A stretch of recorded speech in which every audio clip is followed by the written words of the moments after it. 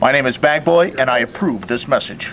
Good morning, everyone. For Chicago Tribune Red Eye, I'm Bagboy. I'd like to talk to you seriously for a moment about a disturbing trend we're starting to see both in the NFL and professional sports.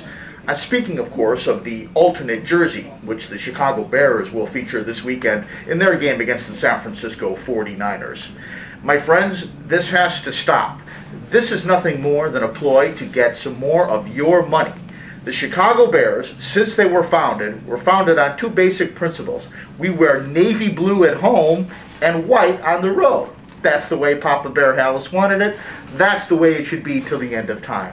This orange jersey thing they're wearing for Sunday's game against the Niners, it's a novelty. It's a joke, and it's, I would add, kind of ugly. And I know they wore this last year when Nathan Vasher ran it back for about 105 yards. It doesn't mean anything. So please, Work with me on this. Write to your local politicians and team officials, and let's stop the alternate jerseys. White on the road, navy blue at home.